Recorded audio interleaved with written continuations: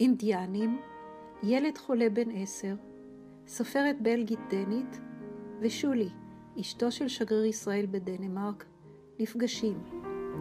אין זו תחילתה של בדיחה, אלא של מיזם נפלא.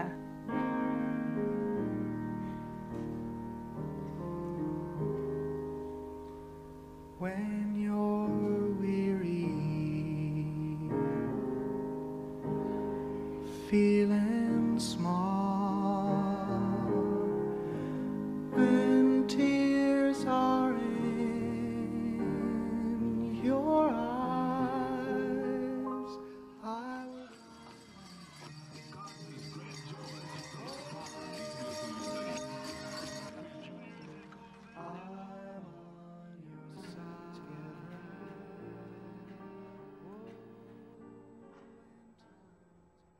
היום מלאו לי עשר. הוריי ואני יושבים במכונית בדרך לבית החולים. רציתי להישאר בבית, להמשיך בהכנות למסיבת יום ההולדת שלי, אבל... הוריי נראים כעת כמו התלמידים בכיתה שלי.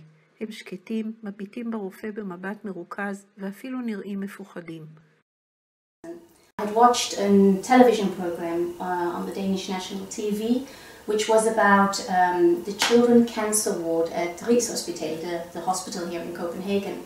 I was uh, I was extremely touched by that program. It's um, they showed images that I will never forget.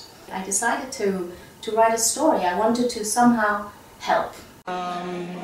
אה, המחברת סופי נתנה לי את הזכויות אה, ללא תמורה, אה, בתנאי שישמש כפי שהספרים שלה אה, למטרות אה, טובות, לא למטרות רווח. שולי בינה יזמה והניעה את תרגום הספר זאב לעברית, והיום הגענו לבית החולים שניידר לילדים לטקס ההשקה שלו.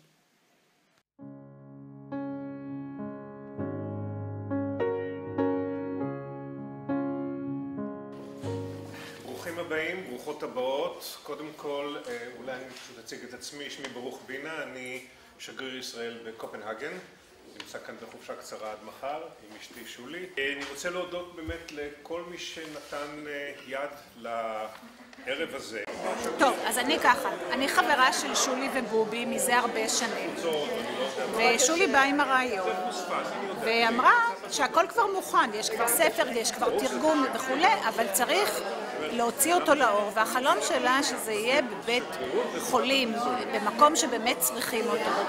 זה לקח בדיוק 48 שעות, הכל היה מסודר. כן. הנה, יש לנו את אורליה, שהיא אלופה, אלופה.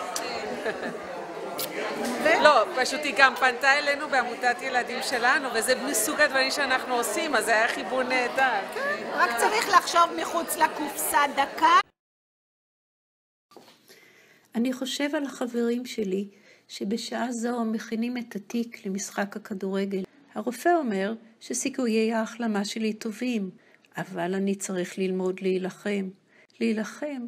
איך אפשר להילחם כשאתה יושב בכיסא גלגלים ומקיא כל היום אל תוך קערת הקאה? And the story is there because I'm not a researcher, so I cannot find any medicine to fight cancer. I'm not a doctor, so I can't help them. I don't have a lot of money, so I can't give loads of money away. So I try to help perhaps with a little story. It can really support um, a child in, in, in difficulty. היי אבא, אני מקבלת מהוריי בדכדוך כמו בכל בוקר. חמוד שלי, תראה, קניתי לך ספר, אומרת אמי. על מה הספר? על שבט הסו האינדיאני. הספר מתאר את החיים של בני השבט, מה הם אכלו, לבשו, איך הם חיו. אני חושבת שתאהב אותו.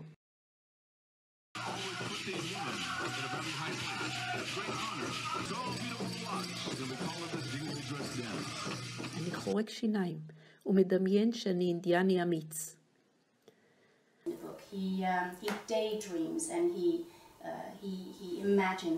uh. And I think something like that can help children to, to overcome problems. אני עוצם את עיניי בחוזקה, ולמשך שעה, בזמן שהכימותרפיה מטפטפת אט אט לתוכי, אני אינדיאני חסון ואמיץ. וזה היכולת להשתמש בדמיון. היכולת להשתמש בכוח שיוצר בו מרחב, שבו אני יכול לחשוב, לחלום, ליצור דמות או מצב שבו אני חי חיים אחרים. Thank you. But uh, how do you feel about the launching of the book in Israel and being translated into Hebrew? I think it's wonderful. I think it's so wonderful. And again, this book has made me meet so many burning, burning souls for, for the calls, and I think that's wonderful. And your wife, Shuli, is of course one of them. She was the one who approached me immediately at the embassy.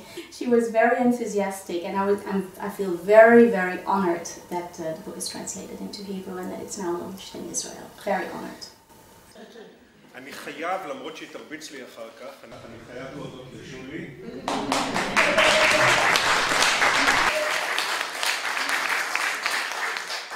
אשתי, רעייתי, חברתי, שהגתה את הרעיון של התרגום אה, של הספר הזה ותפרה את אה, כל הקצוות. ובבלגיה, וגם בדנמרק עכשיו, אה, הספר יזכה להצלחה, וזאת הרגשת סיפוק נפלאה להיות חלק מזה. אני מצטער, אדם, יכול להיות שמדי פעם יכאב לך. תחזיק מעמד, אני מבטיח לך שזה ישתפר במהירות. לואי, הפיזיותרפיסט, מחייך אליי חיוך מעודד. אני צריך לשנות את הגישה, ואני שב ומדמיין שאני לא אדם החולה, הקרח, אלא אינדיאני חסון ושרירי שיכול להתמודד עם כל דבר. עקפה אותנו קבוצת לבנים עוינת שטמנה לנו מלכודת, ואחד החיצים הטועים ננעץ ברגלי. שמש לבנה, מחזיק בחץ, אחר כך הוא לוקח סכין, מלהיט אותה באש, וחותך מתוך בשרי את ראש החץ. הכאב גדול מנשוא, אבל אני בן שבט עשו, ואני אמיץ, לא אצעק. כל הכבוד, האדם, תמשיך ככה. לואי מעודד אותי, ואני מתמלא גאווה על שסיימתי את האימון בהצלחה. And I hope that um, the story will make a big difference and that children from all over the world can be helped with the story. Sophie Kretschmanson, thank you. Thank you for coming here. סוף סוף מותר לי לחזור הביתה. השמש זורחת מבעד לחלונות בית החולים. המזוודה שלי מונחת פעורה על המיטה, ואני אורז באיטיות את חפציי. הארון הולך ומתרוקן. ששת השבועות שביליתי בחדר זה נדמים בעיניי כתקופה ארוכה הרבה יותר. אני חוזר הביתה.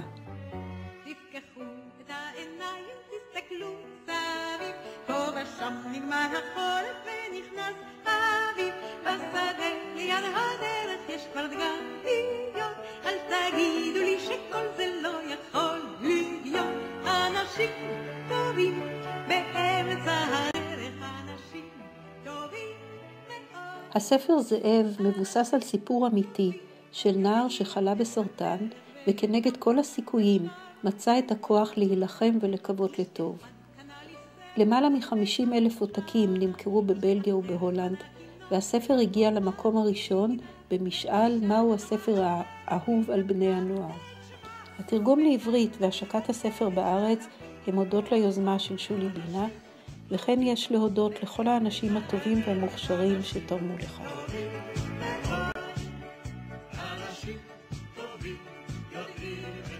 מדוע נקרא ספר זאב? את זאת תצטרכו לגלות בעת קריאת הספר.